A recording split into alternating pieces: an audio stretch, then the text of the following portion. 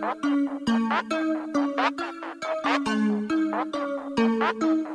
you.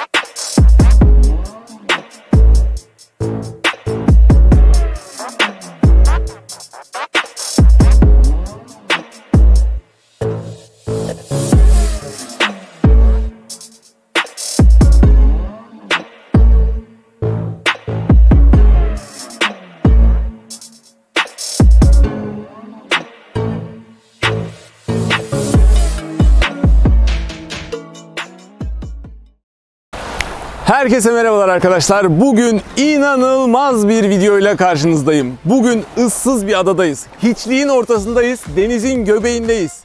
Didim açıklarındayız. Karadan şu an yaklaşık bir 8-10 kilometre kadar uzaktayız.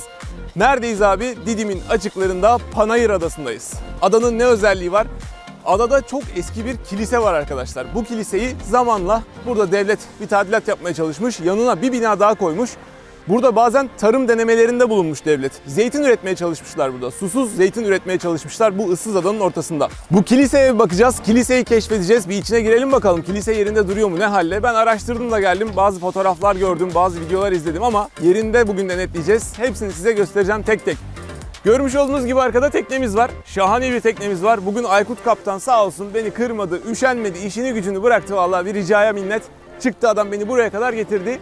Şu karşıda görmüş olduğunuz bir dağ var bakın evler falan var çok uzaklarda. Biz o bölgeden geldik buraya. Gerçekten muazzam bir yer. O kadar sakin, o kadar dingin, insandan uzak bir araba yok. E, Ne bileyim hayvan yok ya, kedi köpek yok yani ıssızlığın ortasında. Biz geldiğimizde martılar vardı bol bol. Bizi görünce hepsi de kaçıştılar, kalktılar. Evet şimdi adanın yanaşmış olduğumuz yüzündeyiz. Keşif başladı. Kumsal olduğu için bu bölgeyi tercih ettik. Ee, bu bölgeden yanaşabildik. Çünkü adanın diğer tarafı tamamen kayalık. O bölgeden yanaşma şansımız sıfır. Burası kumsal daha yanaşılabilecek şekilde. Kayığı buraya yanaştırabiliyoruz çünkü. Şimdi biraz ileride bir 100-200 metre kadar ileride az önce bahsetmiş olduğum kilise var. O kiliseyi bir görmek istiyorum. Daha sonra adanın içlerine girmek istiyorum. Bir bitki örtüsünü görmek istiyorum. İçeride yaşayan bir hayvan var mı bakmak istiyorum. Yok gibi görünüyor ama yine de bir test edeceğiz bakalım. Görmeye çalışacağız. Bir de oraları test edelim. Evet şimdi o bahsetmiş olduğumuz yapıya geldik. Kilise olduğu söylenmişti. İnternette de kilise olarak yazıyordu ama şu an baktığımız zaman burası bildiğimiz betonarme eve benziyor. Yani bir iki oda bir salon bir ev gibi görünüyor. Fakat internetteki notların arasında şu da yazıyordu. Kilise varmış ve hala var. Daha arkada onu da birazdan göstereceğim size. Kilisenin yanına bir de devlet buraya bir bina yapmış. Bu bilgi de vardı. O binada muhtemelen bu. E, tarım arazisi için, burada tarım üretimi için, zeytin üretimi için denemelerde bulunmuşlardı. Onun için burada mecbur bir konut da lazımdı. Bu onun. Devletin yapmış olduğu bir konut bu. E, direkt zaten adanın karadan bağlantısı olan en yakın noktası burası. Yani tekneyle buraya gelindiği için devlet bunu bu uca yapmış. Şimdi bunun arkasına geçiyoruz. O asıl kilise dedikleri, kiliseden bahsettikleri görüntüyü de size aktaracağım. Geçiyoruz.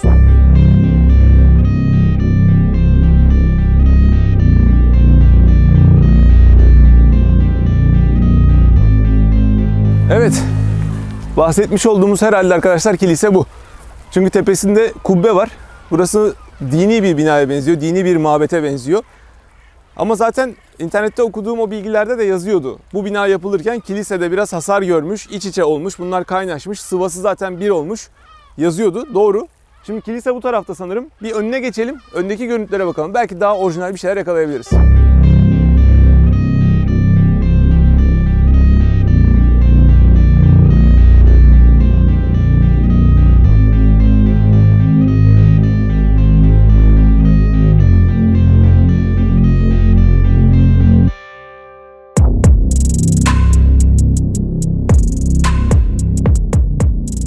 Çok orijinal görüntüler gelmeye başladı galiba. Şöyle bir bakalım.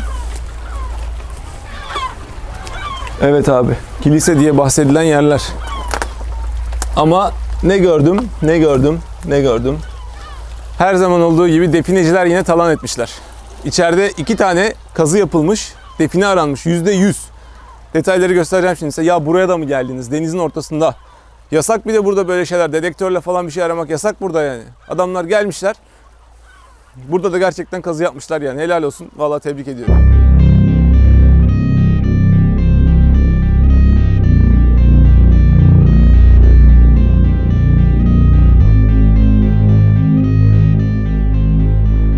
Vallahi arkadaşlar resmen şu an Amazon ormanlarında gibiyiz. Yol yok. Daha önce bir geçilmiş ayak izi yok. Yürüyecek bir yer yok. Şu an öyle bir yerde gidiyoruz. Şu kiliseyi önden görebilmek için. Şöyle geldik. Hatta biraz daha devam edelim. Sanırım şuradan daha detaylı bir görüntü alabileceğiz gibi görünüyor. E, Issızada dediğin de böyle olur. Issızada'da zaten medeni, modern hiçbir şey olmaması lazım. Doğru yerdeyiz. İşte görmüş olduğunuz gibi şimdi kilisenin ön tarafına dolaştık. Az önce şu kubbenin arkasındaydık zaten. Kilise diye söylenen bölüm muhtemelen bu taraf. Kilise bu tarafmış. Daha sonra şu binayı yanına eklemişler. Ne kadar güzel olmuş değil mi böyle? Tarihi bir yapının yanına şöyle bir bizim müteahhit Hasan abinin yaptığı 2 artı 1 salon salomanje böyle. Bu bayağı şey ya. Tarihi katliam yani bana sorarsanız. Şuna bak. Anlamıyorum yani. Niye biz bunlara sahip çıkmıyoruz? Yurt dışında olsa şuraya neler yaparlar? Burayı nasıl değerlendirirler kim bilir? Biz bunun yanına baya hani kiliseyi eve katmak diyebiliriz. Evi kiliseye katmak diyebiliriz. Tarihi bir şey abi. Bunun hikayesi var. Kim bilir denizin ortasında bu kiliseyi niye yaptılar acaba? Kim yaptı? Ne zaman yaptı? Bizde bunlara hiç önem verilmez. Hemen evi kondur abi buraya. Yürü. Muhtemelen şimdi bunu yapana sorsam bir açıklaması vardır ama ben kabul etmiyorum yani. Bu hoş değil. Şurada herhalde bir kuyu gibi bir şey var. Bir kuyuya bakalım. Ne kadar? Bir 5 metre kadar derinliği var bunun. Hatta dibinde şu an su var. Hatta e, ıslak. Dibi şu an hala ıslak. Nemli. Alttan muhtemelen bu suyu alıyordur. Nasıl almasın zaten? Denizin ortasındayız. Bunun altı su zaten. Bu kuyu da muhtemelen bu kilise zamanından kalan tarihi bir kuyu. Yani şu yapıyla, sonradan yapılan yapıyla pek alakası yok. Ne kadar güzel şeyler, ilginç şeyler var bak burada. Kimsenin umurunda değil, bakan yok. Yani gerçekten buraya ilk defa geldim. Çok gelen giden de yoktur zaten buraya. Görün abi. Kimsenin gelmesine gerek yok. Bak biz geldik gösteriyoruz. Şunlara biri el atsın yani.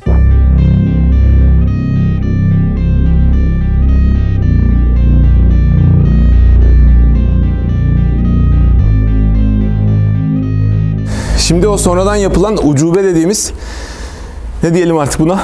Binaya, o yapıya gireceğiz. Bir içeriye bakalım ev miymiş burası, resmi bir daire miymiş, neymiş? Bir göz atalım. Evet şimdi evin içindeyiz.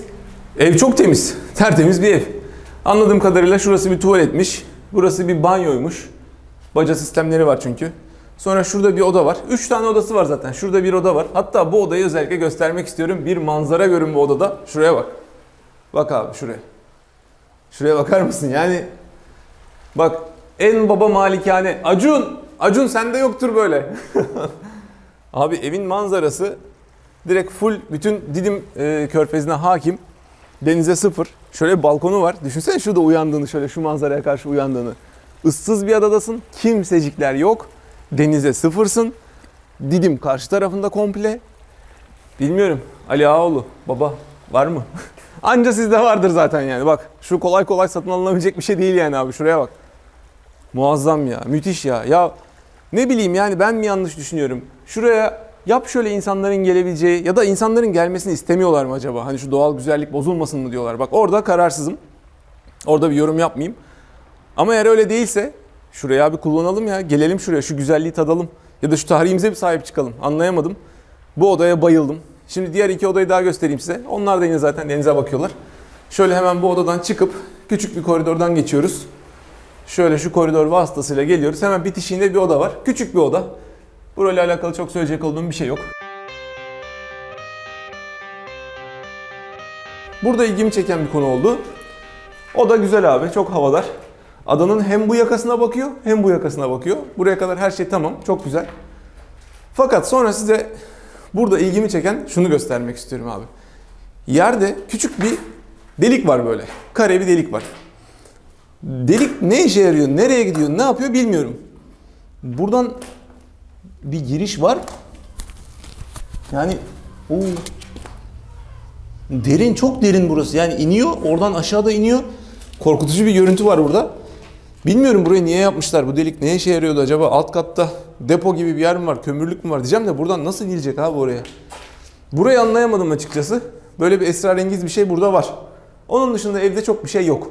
Şimdi az önce gösterdiğim o kilise vardı hatırlıyorsanız. Bir kilisenin içine girelim bakalım. Oraya çünkü talan etmişler defineciler. Bir oradan birkaç görüntü alalım. Devam ediyoruz.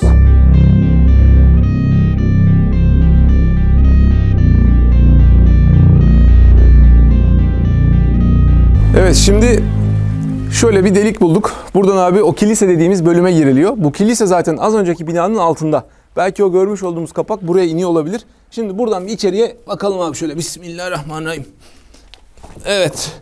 Evet şimdi binanın altındaki kilisenin içindeyiz. Zemin toprak, oval. Harbi çok ürkütücü yalnız burası. Ee, birazcık tırsmadım değil yani. İçeride çok böyle ses felaket bir akustik var. Yani sesin kalınlaşıyor. Yani sesin gitmiyor sanki. Öyle bir akustik var. Şöyle tünelvari kapılar yapmışlar zaten. Kapının birinden geçiyoruz abi şöyle bismillah diyerek. Yine burası bir orta boşluk bir hol gibi bir şey. Buradan bir kapıyla herhalde dışarıya çıkılıyor. Sonra şurası abi kilisenin son bölümü. Az önce size göstermiştim yani defineciler burayı talan etmiş diye. İşte bahsettiğim yer burası arkadaşlar bakın. Şuranın harbiden de hani çok affedersiniz ağzına tükürmüşler yani buranın. Şu hale bak. Gelmişler abi eşelemişler. Bunu yapan insanlar da bilinçli falan ha haritayla falan geliyor. Çünkü her yeri eşelememiş baksana bir orayı kazmışlar. Kaç yılında yapıldığını bilmiyorum. Çok araştırdım. Ne amaçla yapıldığını bilmiyorum. Ee, söyleyenler var. Bu adaya getirip papaz yetiştiriyorlarmış. Burada papazlara eğitim veriyorlarmış. Onu söyleyenler var. Ee, bazı söyleyenler var. Burada e, bu dini açıdan problem yaşadıkları insanları buraya atıp cezalandırıyorlarmış. Onu da söylediler. Onu da duydum. Ama tabii doğrusunu bilmiyorum. Ee, siz araştırın ben bulamadım. Evet şimdi kilisenin içinden aktarabilecek olduklarımız bu kadar. Zaten çok küçük. Yani şurası baksanız herhalde bir 50 metrekarelik bir alan. Çok minicik bir yer. Bilmiyoruz yapının daha devamı var mıydı yok muydu ama içeriden şöyle kubbesi falan çok orijinal görünüyor. Biz şimdi buradan çıkalım. Adayı tekrar bir keşfetmeye devam ediyoruz. Ada çok büyük çünkü. Bitki örtüsüne bakalım. Dışarıda neler var, hayvanlar var mı onlara bakalım. Devam ediyoruz. Hadi beni takip edin.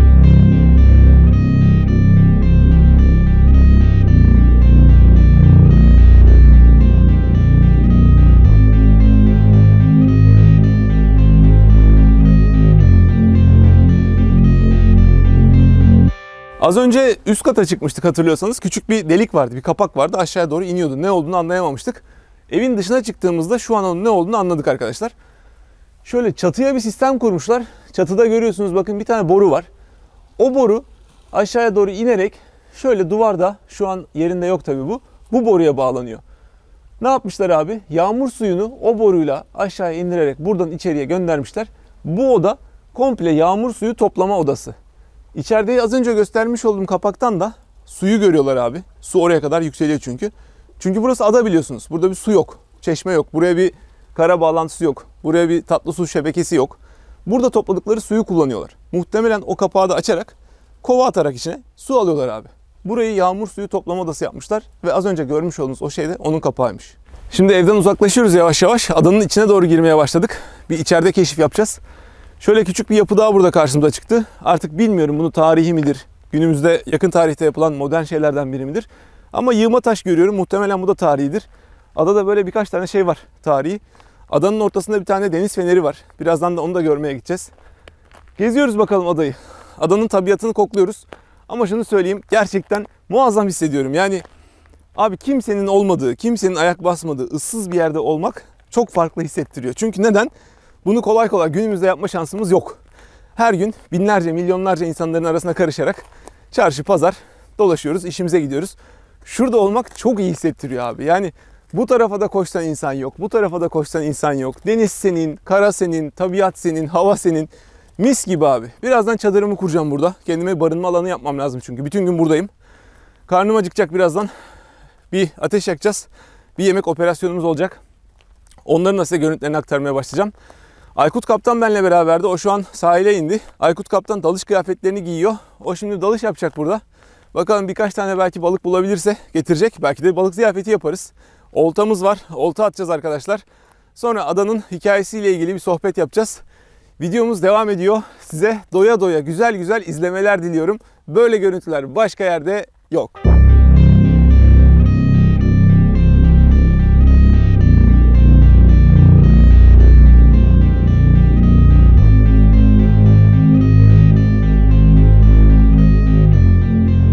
İşte bahsetmiş olduğumuz Burada ne demiştik videonun başında? Tarım denemişler. Burada tarım yapmaya çalışmışlar.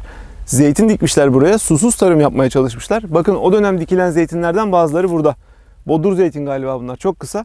Ama üzerinde hiç meyve yok. Şu an bildiğim kadarıyla zeytinin meyve alınması gereken değil mi Mehmet? Şu an evet zeytin meyve vermesi gereken dönemlerdeyiz. Üzerinde hiç zeytin yok. Muhtemelen burada abi bu işi becerememişler. Zaten becerselerdi şu an burası daha farklı konumda olurdu. Bizim biraz yürüme yolumuz var. Bir 20 dakika falan yürüyeceğiz şimdi. Mehmet getirdin bizi buralara kadar. Hiç de demiyorsun dönelim dönelim diye. Mehmet habire gidelim diyor. Habire gidelim diyor. Şurada bir zeytin var, şurada bir zeytin var. Hangine baksak üstünde meyve yok, zeytin yok. Kuru kuru zeytin ağaçlarını gördük geldik. Asıl görüntüler aşağıda. Takip edin.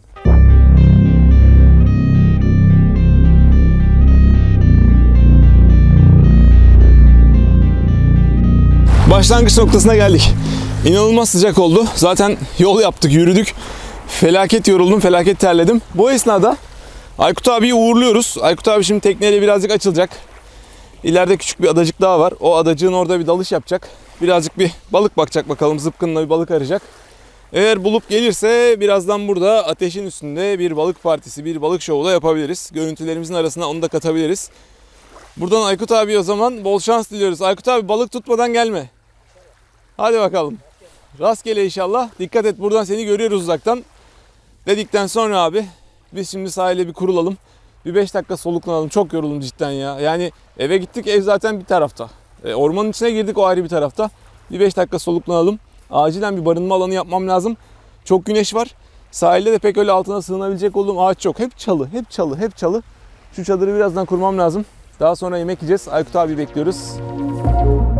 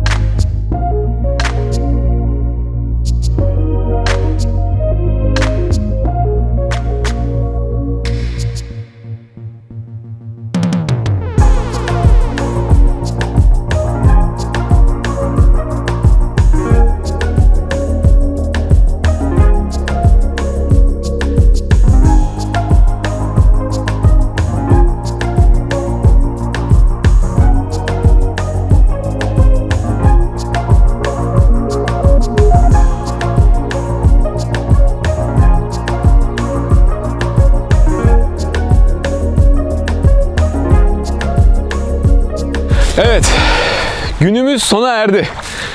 Karnımızı doyurduk. Adada çok güzel vakit geçirdik. İnanılmaz dakikalar, inanılmaz anlar yaşadık. Issız bir adayı keşfettik. Sahipsiz, çok eski kalan bir kiliseyi görüntüledik. Çok güzel şeyler yaşadık. Gerçekten benim için unutulmaz bir gündü. İnşallah izleyenler için, sizler için de unutulmaz bir video olur. Çok keyif aldık. Yolunuz düşerse siz de gelin arkadaşlar buraya. Panayır Adası burası. Didim açıklarında Panayır Adası. Eğer bu yakınlardaysanız mutlaka buraya yolunuz da düşüyorsa, gelme imkanınız varsa bunu mutlaka sağlayın. Buraya gelin dedikten sonra artık biz videoyu burada bitiriyoruz. Videomuzu burada sonlandırıyoruz. İzlediğiniz için çok teşekkür ediyorum. Her zaman olduğu gibi ne diyoruz abi? Emeklerimizi görüyorsunuz. Büyük emekler var. Büyük zaman harcıyoruz. Bu videoya like atmayı, abone olmayı, bir yorum bırakmayı sakın ama sakın unutmayın dedikten sonra bize müsaade artık biz yola koyuluyoruz. Yolumuz uzun. Evimize varıncaya kadar bize şans dileyin. Kendinize çok iyi bakın. Görüşmek üzere. Hoşçakalın.